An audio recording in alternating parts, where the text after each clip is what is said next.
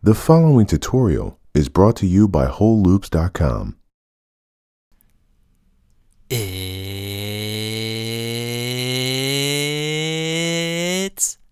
production time. I'm Reid Stefan, realist puppet in the game. Best synths, virtual instruments, whatever you call them, you clicked on the right video. I'm going to be going through the tools that I use the most, talk a little bit about when I use them, as well as the good, bad, and wonderful of each VST. Starting out with the one that I use the most and would recommend you do as well Serum by Xfer Records. I consider it the glorious child of Massive and Sylenth. For the most part, it can do everything they can do, but Serum does it in a much more elegant user interface. There are so many video lessons. I did one video about Serum on my channel. I'll put a link to it in the description. Now let's jump into what's good about Serum, and that is the presets. You can scroll through this really well organized bank of presets that Serum comes with uh, by category, or you can go through. I use the Seven Skies presets all the time. These are some future based sounds. Uh, just above it with some 808 sounds for whatever kind of sound you're looking for, and switching through them is as easy as just hitting the left right button. Or if you want to jump down the category, you can go back in the list. Let's say we want to go straight down to the chord leads.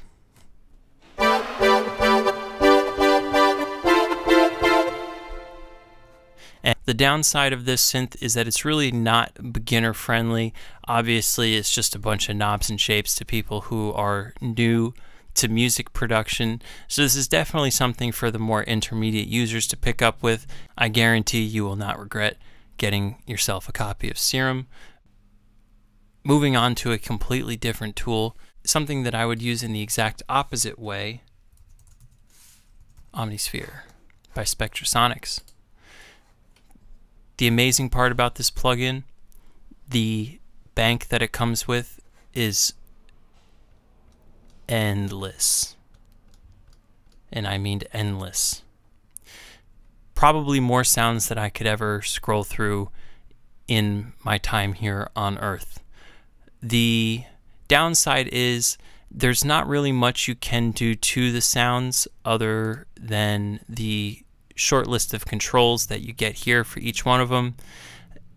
What I do really like is they give you this lock control here and I use this all the time if I'm looking for a sound that I know I want a clean sound. Most of these presets are going to be lathered up in reverb and delay and a bunch of other special stuff to make them sound fancy, but it'll just keep this blank rack in here and you could just hear what the original sound was before they added all the effects to it. Are you a music producer that loves making blazing hip hop bangers? Do you want your trap beats to sound extra crispy? Then get ready to shake the block. Introducing Urban Beats, the all new sample pack featuring exclusive trap loops, over 300 urban drum samples, and the most disrespectful 808s your neighbors have ever heard. Urban Beats is available now only at WholeLoops.com. Moving on to something quite similar but much less money good old fashioned Nexus. I have a love hate relationship with Nexus. The amazing part about Nexus is it gives you a lot of the controls that Omnisphere has and then some. One of my favorite effects is the spread knob here that will uh, pan every other note left and right as you hit it. I use that all the time on ARPs or kind of background things. Sort of like a ping pong delay effect, but without the actual delay. These presets do load up way faster than the ones in Omnisphere.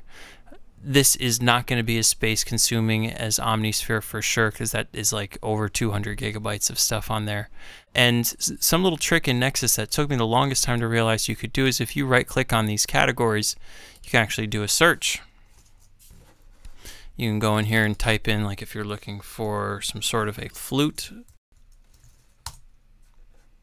it'll go through all my preset banks pull up just the flute sounds let's try this one Uh, same as Omnisphere, they always turn the reverb and delay on for almost every preset. I kind of can't stand that, but at least the reverb and delay in this plugin also sounds really good.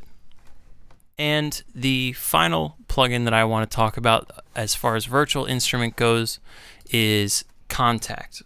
The beautiful part of Kontakt is that it is a free sample player and it is open to the world of sample pack designers to put together libraries and you can find some really obscure stuff and some really good common stuff. But for, however for the basics synth type stuff I would always say just use Serum for that because the only thing I really find myself using Kontakt for is if I want to put a trumpet in a song or a guitar in a song or a, a string instrument in a song that sounds realistic. And this definitely out of all the synths will have the most realistic bass guitars. You know, you name you name any actual instrument, and Kontakt will probably come the closest out of any of the other synths on this list.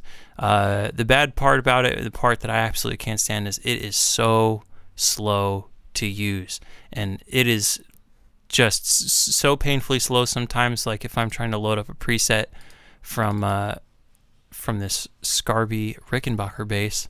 It's just you got to look at the rainbow thing, and then you got to wait through a couple of of progress bars, and it absolutely disrupts the musical flow. Oh, see, it's not even done yet. We're not even going to wait for this to finish. You missed your chance, Kontakt.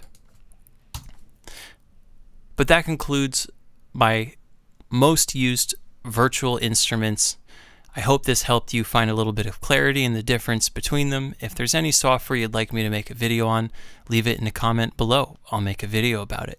Thank you for subscribing. Thank you for enabling notifications to my uploads. I'll be seeing you soon with another tutorial. Peace out.